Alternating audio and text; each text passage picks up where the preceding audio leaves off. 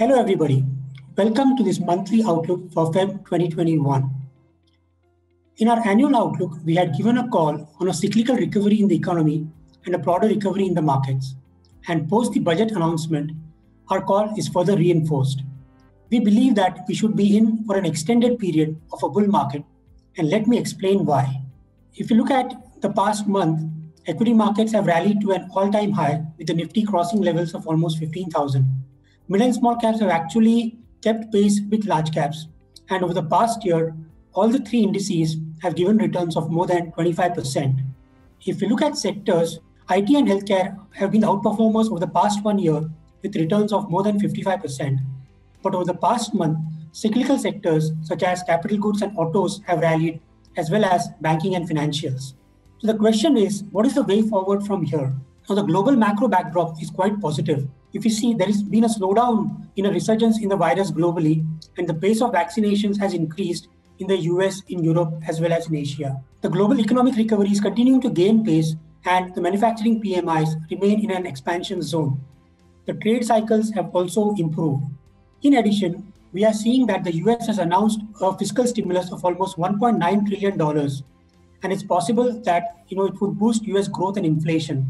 However, in its recent meeting, the US Fed has maintained its accommodative policy and its focus on growth it's likely that the Fed, the ECB, as well as the Bank of England could wait for three or four more years before even thinking of hiking rates. So, overall, monetary and fiscal policy is expected to remain loose, which would support the global recovery. Coming to India, we are seeing a decline in the trend in COVID cases as well as the fatality rate, and the vaccination drive has also started, which is a big positive. High frequency indicators are showing that growth recovery is on track, and most of indicators like GST collections, two wheeler and passenger vehicle sales, power demand, exports are all above their pre-COVID levels. We have also seen that both the manufacturing and services PMI are in expansion zone and the credit growth has also recovered from its all-time lows.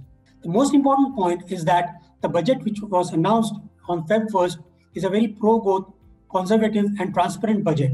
So first of all, we are seeing that the fiscal deficit estimate was looser than anticipated and a gradual fiscal consolidation path has been announced. Secondly, there has been a push for investment led growth. We are seeing big infrastructure spending, there's a boost to domestic manufacturing, and a bad bank has been set up for NPA resolution. How is the funding for all this going to come from? Well, there is a very credible divestment target as well as a broad asset monetization program. There is also a proposal to set up a development finance institution to aid infrastructure for financing. The budget was one of the main reasons for the rally in the markets. Secondly, at its recent policy meeting, the RBI announced that they would keep the repo rate unchanged at 4% and maintain an accommodative policy as long as necessary, both in this fiscal year as well as in FY22.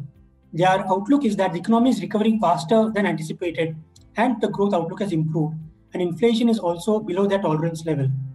Lastly, the RBI will ensure ample liquidity will remain available to the system, and retail participation in GSECs has also been allowed. So overall, in India also, both fiscal and monetary policies are supporting growth. So our outlook is that going forward, a cyclical economic recovery is expected with India's GDP growth coming back to around 12 to 13% in FY22 and then 6 to 7% after that. Especially the government's focus on fiscal expansion and capex spending augurs well to revive the long anticipated private investment cycle. We are seeing that the housing sector, which was depressed, should recover now banking sector NPAs should be manageable and consumption growth should also come back. So the question is, which are some of the interesting themes going forward? So we believe that consumption, banking and financials, industrials and infra, and tech and digital could be the sectors that could outperform going forward. Now, coming to earnings, we are already seeing that the Q3 FY21 earnings are holding up well. Almost 30 Nifty companies have declared results, and the PAT is up by almost 23% year over year. This is leading to earnings upgrades, and that can be expected to continue going forward.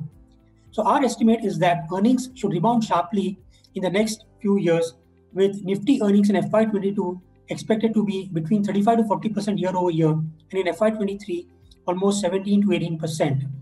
Now coming to valuations, we are seeing that both in terms of the trailing price to earnings multiple as well as the price to book multiple, the valuation multiples seem rich. However, we should keep in mind that we are in an environment of low interest rates and high liquidity, and hence the multiples can remain elevated for longer time. However, if we look at the next two or three years when earnings growth should normalize, then the multiples look pretty reasonable. After the recent rally, even the mid caps and small caps are now closer to their previous highs.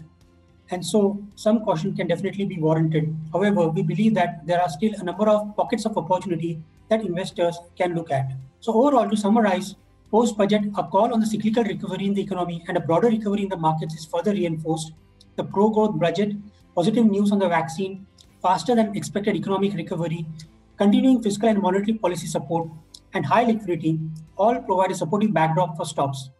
We should be in for an extended period of a bull market. The outlook for most sectors is turning positive, but especially domestic cyclicals, industrials, and financials can play out in 2021.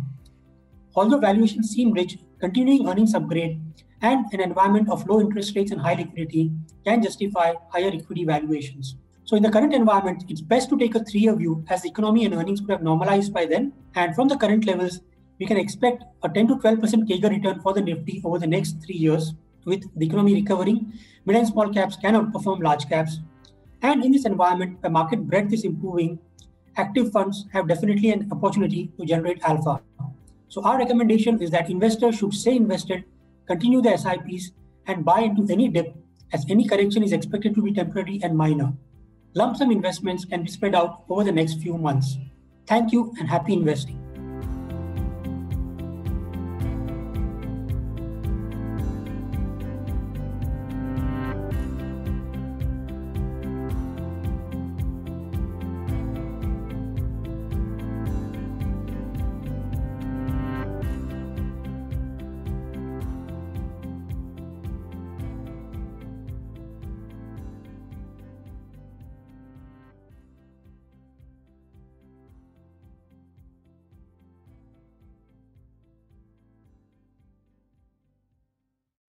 Mutual fund investments are subject to market risks. Read all scheme related documents carefully.